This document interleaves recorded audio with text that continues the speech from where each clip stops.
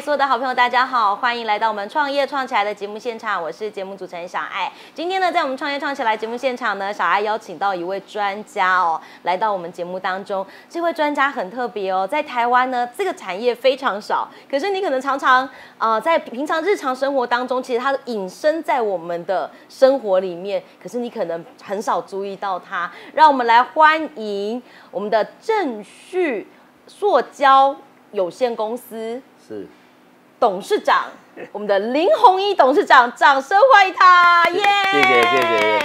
谢谢小爱，谢谢谢谢。宏一理事长好好，今天要麻烦你来跟我们所有的好朋友聊一下哈，这个其实，在创业的过程当中，其实有很多不一样的面向。那其实像宏一理事长在创业的这个过程当中，其实是跟家族的渊源很深，是吗？是的，没有错。这个这个行业事实上并不是在我手上所呃草创的，是，呃，我父亲的时候就已经已经开成立了。嗯哼，对，那我在我在大学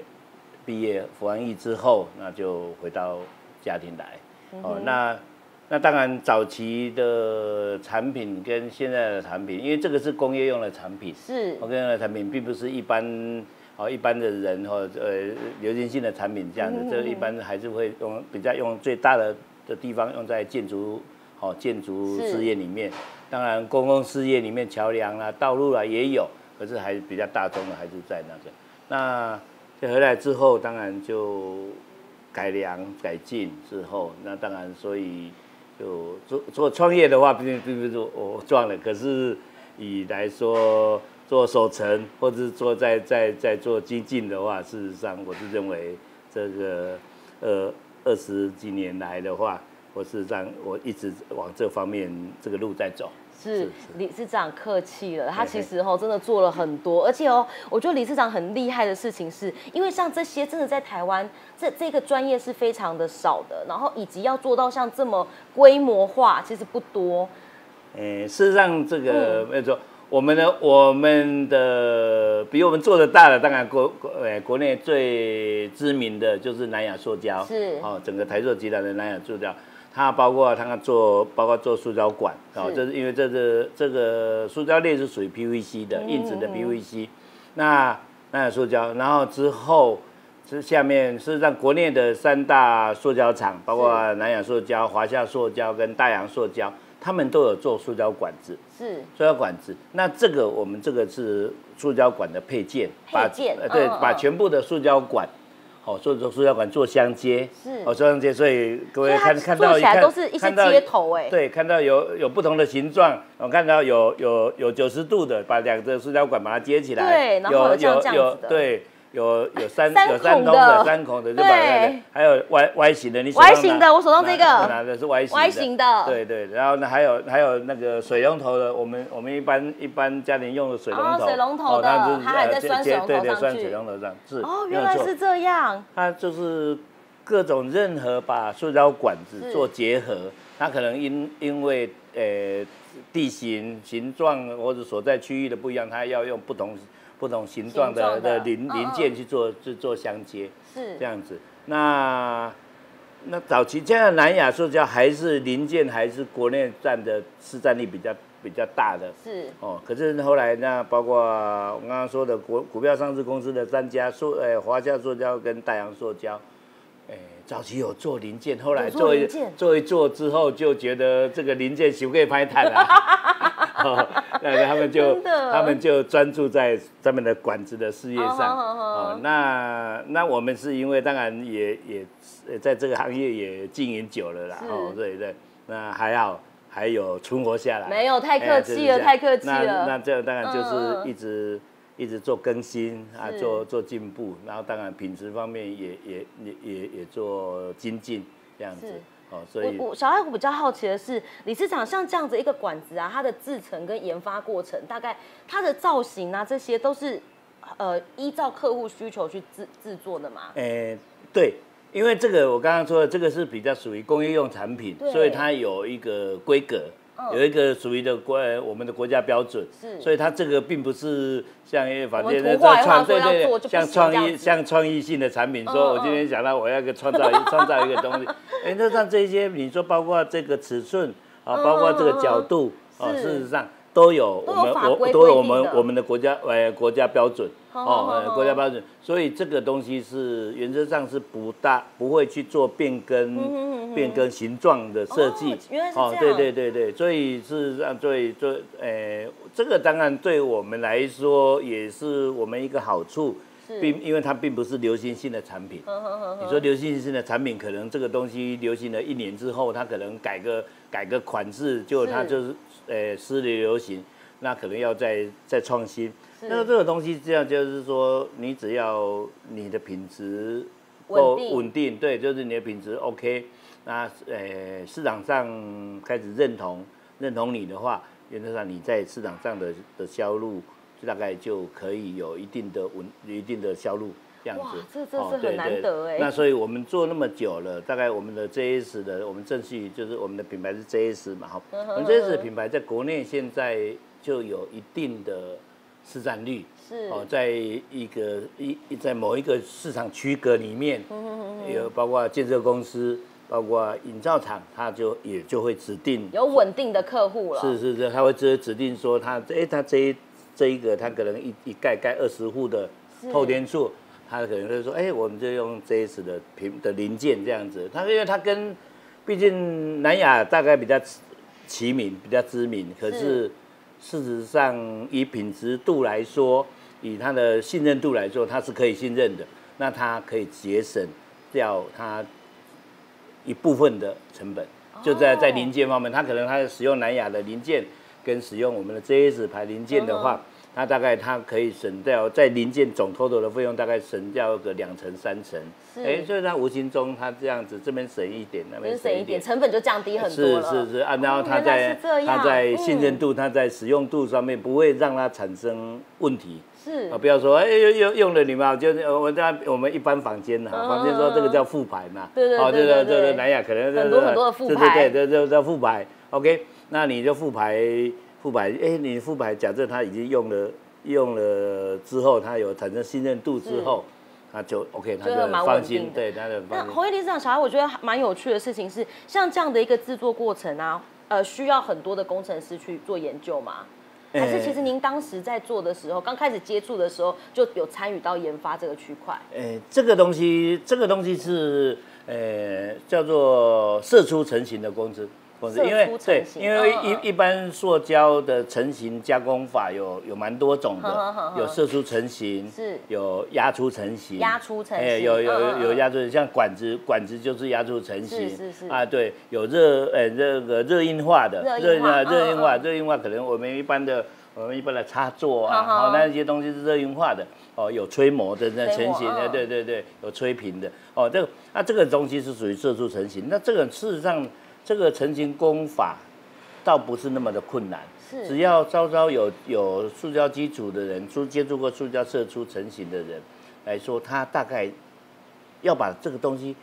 射出一个东西出来就 OK。是可是当然，那另外一个就是说，它是什么什么属于什么材质？呵呵呵哦，，当然塑呃五五大泛用塑胶，还有另外现在工程塑胶一堆。OK，那个是属于呃硬质的 PVC。是那硬质的 PVC 在比较精细的，就是说我我不光不光说不今天把这个产品设出来，我要把它设成这美观，这设出来，对对对，或者或者它的可能接缝线呢，它的那个嗯它的牢固度更要好，安全。对对对对，那多多少少还是有一些射出的技巧。是。哦，那在后面可能就是大概就是说需要两两层三层的射出的技术，技术哎对那些技术，对。把它完整起不来不然一般的人可能他可能跟房间去买一台射塑胶射出成型机啊，去开个模具来，哎那啊然后去找找对的料来设，他可能设得出这个产品出来，看出来嗯样子看起来差不多，对对对，但用十年二十年就不一定了。可是这就是可能它的强度，可能它的它的美观各方面还是会有差别。因为就认真想，这个东西要被埋在可能大楼里面，对对。它的耐用度要非常的安全才可以耶。是是是。要不然，比方说像台湾是有地震的国家，或者是呃有一些就是年年纪很，比方说哎。三十年、五十年的对。房子，它要能够够受用，这个其实是蛮重要的。是啊是啊，红叶市长小爱，我觉得很有趣，因为我们的频道叫做“创业创起来”。当然说您刚刚很客气说哦没有啦，我是接家里的事业。可是其实，在经营的过程当中，一定还是有遇到很多我觉得困难也好，或者是挫折也好，有让你印象深刻的吗？呃，大概但是还好，就是因为我学的也是本业，我本身、我本身是机呃机机管系毕业的嘛，是是是，哦，对，那可能我父亲那时候他就有意有意有意无意的就就是告诉我说，哎，这个这个事业是不是我希望我能够能够承接？是。因为我我我的我的我的兄弟我弟弟他是他学医的，他的意思哦就是我们就两个兄弟就有没有 OK，那。那所以，我那时候就大概大致上，我在大学的时候就开始有参与参与那个，呃，工工工厂对对工厂的嗯。事情，就慢慢去了解了解。但那当然，当然后来你说我是学商的，或是学那个的话，并不是学化学，不是那个，那我还是还是有用心的。我还是我还是对对，服完役之后，我还我还我还我还是真的是就这本业的话，我还是到塑胶呃塑塑胶发展中心，塑胶那个那个台中的那个，我还就去上了一系列的课，你去进修去进修，对对对，然后然后自己然后自己自己去去去看书去翻书，是那对不对？因为管理方面可能稍稍哦或者说比马文的，可是在在比较专业，在呃塑胶这个化学领域的话，却毕竟不是不是我我所学的，还是要去把这些知识补起来。对对对对然后之后当然就之后就一一路一路走。那我当然我后我我早期的时候，可能他们比较呃上一辈的人，他们那时候就真正的，因为那时候可能这个东西在台湾是草创，那时候可能泾渭分明。是南亚是南亚，就是南亚是属于政治标记，其他都是富白。那富全部白就是都是富白早期他们，我我我我小时候的印象就是这，他们真的是就把产品做出来就好了，他们就哦他们不在意它的耐用度。因为那时候刚刚做，知道知道我父亲他们可能当然，呃，产品的广度也不那么大，他就大概可能就是做那二三十种、三四十种。他觉得我都觉得他做出来都都卖出去了，没什么库存啊，就在在每天在赶赶工卖光光那那时候机器当然 当然也也也也没那么多了，哈是，没有那么多多多台机器，哦，所以产量产能可能也有限，对。那嗯，可是后来到了第四的石油危机之后，那台湾的话，哎，结果后来当然也就是社跟着社会的进的进步，那之后到了我参与事业之后，我还是觉得说，嗯，我们应该可以把它做的跟南亚的产品是一样的品质，哦，一样的那个质感，对，那只是品牌不一样而已，哦，对，那应该可以要做成这样，所以我就往这方面去去努力。但是理包括事长一直是都在这吗？地点诶，没有，我们有搬早我对对对，我们我们算安平工业区进驻的算比较早的厂哦商，算早期我们对早期我们在东区，在东区哦对对，嗯那那嗯那时候还是比较算家庭式的工厂，嗯就是一栋两栋，呃，连着三栋都是，然后做合都都是并打都是家通合并对对对对，都是家庭家家庭式的这样，嗯并不嗯是在工业区现在这么有规模这样在工业区里面，对是。对，那那后来我就在我开始参与的时候，我就开始做模具的更新。哦。我是觉得最主要还是在模模具方面跟原料方面的那个啦。就是是是是，模具，当然那就是投资啊，就是哦。每一个人的想法不一样，个人或许那对，因为这个这个说真的，这个还是算稍微比较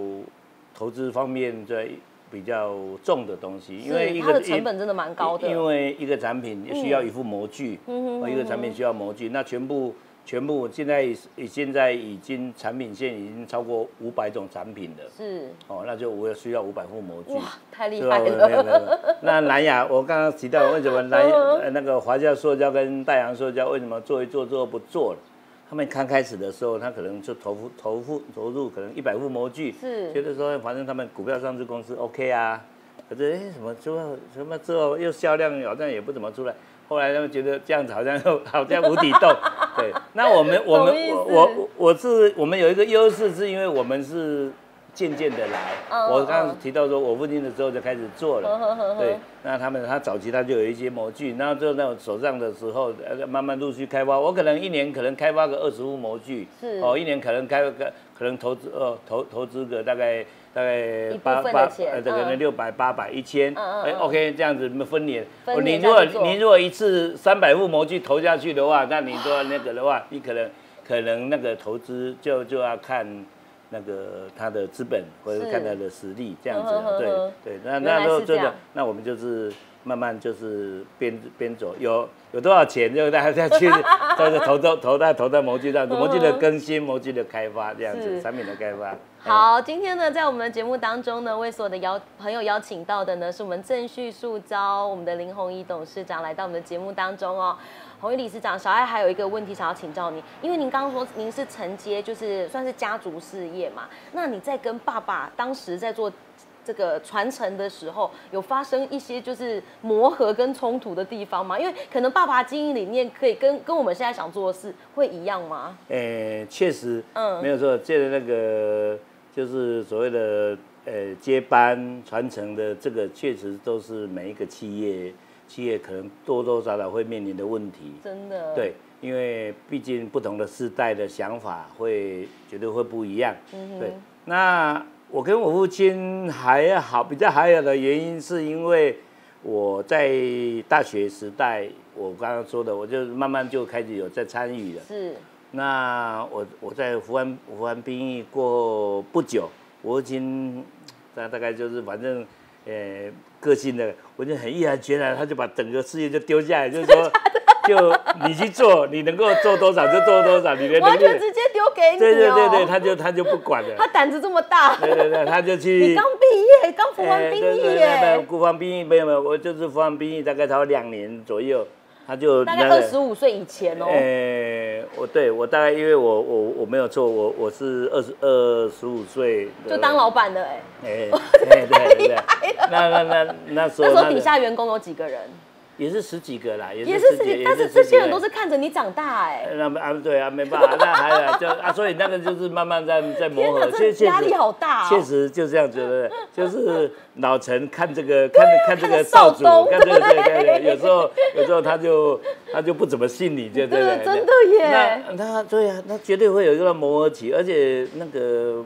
那个包括那个旧的员工，旧的他们他们的他们的想法还是停留在以前他们那个土法炼钢的时代，早期他们那个那。我们毕竟真的就是我刚就是我去上课就会去接受一些新的社畜观念，是。对，那那时候可是怎么去磨合呢？后来我就说那好啊，那我就我我就用成绩去去表现给他看，对。对，就是比如说一个某一个产品，它做出来的产品，他可能是这样子。我刚刚说他可能做得出来，可是可是我们觉得，哎，这个精致度不那么好，嗯哼我就跟他沟通，那他觉得这样子 OK 啊。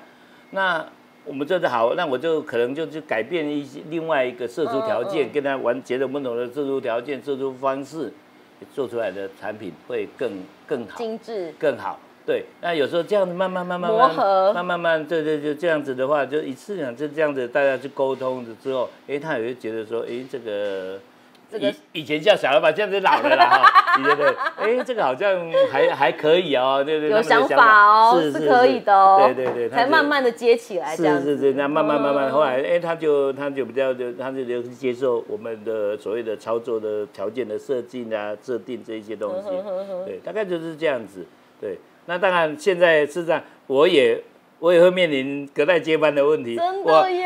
我我我儿子。呃，那个研究所毕业，他还是他还还是还还还是读那个气研所的，是对，因为他的想法跟我的还也那个想法理念也也会有不一样的，对，是是对还是会还是会有磨合冲那个的时候，是对啊，对吧？啊，这个就是需要讨论呐，多一点的对沟通这跟讨是这是论。我我相信这是只要只要企业想要有永续经营的话，多多少少会会，啊，只是只要是良性的沟通，应该是还是好侯理上会学爸爸的作风，就直接丢给儿子这样哎子。我我也想这么 你做，有想这样做过是不是？是可是那个好像需要再调整一下。我是觉得跟个性跟那个还是有差的，哦 还是有差。我还是我还我还是我目前没有办法毅然决然的。哦，OK，OK，懂呃懂懂是是是，那大概就是说，对需要一点他们他们在学，我儿子在嗯。年在学生时代，毕竟嗯。比较没有像我那个时那个时代这样的有去接触，在当学生去接触，所以真的是不同的不同的步调对对，不同时代不同的做法是这样 的，是。好的，今天的节目当中呢，为所有的好朋友邀请到我们红衣理事长哦，小艾非常开心可以邀请到他哦，因为啊，红衣理事长除了自己的企业做得非常好之外呢，他也非常啊热心公益，然后回馈我们的乡里。除此之外呢，他也辅导很多的企业，然后做很多的这个企业的改革跟优优化哈。那今天呢，最后。想要请红衣理事长跟我们所有的好朋友分享，就是你的创业心法，以及可不可以鼓励一些我们正在创业的人，他最需要坚持的是什么事？这样是了解。我我会是觉得，确实现在年轻人他有创业的想法是很好，是。可是我还是会我我还是会认为说，他在创业之前，还是不要先必须稍把稍微自把自己充实充实好，在他。至少在他本业，因为你做一些通通识的，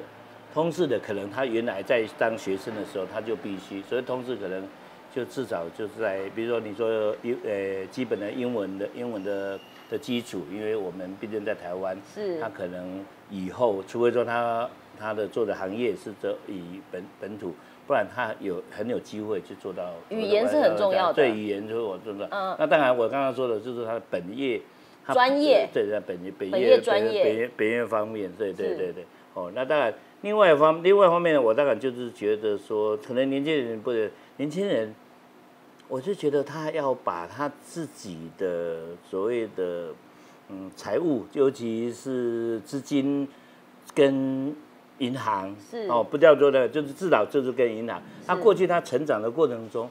绝对不要产生所谓的信用瑕疵，是，好，所以比较年轻人不要想说，我我那个信用卡我来借那个那个，或者我延迟那个哇，你说你说分期付款就已经已经很惨了，这么说，他还说他还迟缴，那那那因为那些东西是会有记录的，是，哦，那在跟银行打交跟银行打交道，因为我在过去在做创业辅导的这个过程这个过程中，我相信。很多的部分，很多的年的的年轻朋友，他大概都是在资金方面是有需求的。是哦，他可能觉得说，哎，对他可能他觉得他可不可以他去开个店，哦，他去开个店，呃，OK，他这一方面他可能有自信，可是他想想就是，哎，他资金方面他是是需要能够寻求帮助。OK，那现在政政府来说，事实上也也会也在愿意在这方面去做帮的嘛。是。可是事实上说真的，诶，政府是政府的意思，哦，政府有这些创各方面的创业的那个那个辅助的那个基金，可是实际操作的是银行在操作，是，所以 OK，那你跟银行的关系就很重要了。你假设这一些有有在放贷、有在办理这个呃创业辅导的这些，无论是无论是劳动部的，无论是经济部的。哦，这些它有不同的哦，有的农业就是你像农农业、农业、农农业有农业方面的哦，各方面它都有不同的妇女有妇女方面是哦，它有不同的那个创业贷款的辅辅导这些东西哦。那回归到银行，就是跟银行打交道的时候，银行第一个就是审查你过往的所谓的信用记录是这个人家 OK，所以我会觉得说要保持自己良好的信用记录。哦，良好的信用记录并不是说你马上还款，OK，你人可能会一时不得，一时呃不方便，可可可是你在不要具有违，就是违约的状况就对了。你你规则要看清楚。对对对，你你分期还是分期，OK，那可是你不要说，哎，你要分期还你还是不理他，就啊你就放。规则要看清楚。OK，那那之后当然就是跟他的所谓的往来的司机，往来的时机并不是说要很。